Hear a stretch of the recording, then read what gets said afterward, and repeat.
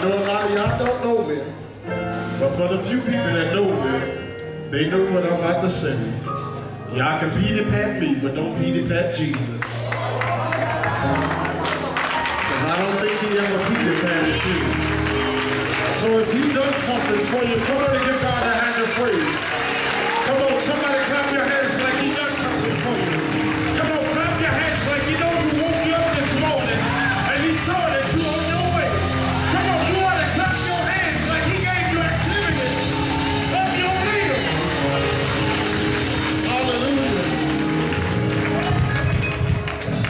Well, I'm excited to be here on tonight. I see so many familiar faces for to say I'm in some strange land. Amen. Amen. I, I met this very beautiful young lady at my great grand, my great aunt's funeral. And that was my very first time meeting her. And I thank God for her. I believe she's the minister of music of the house, right?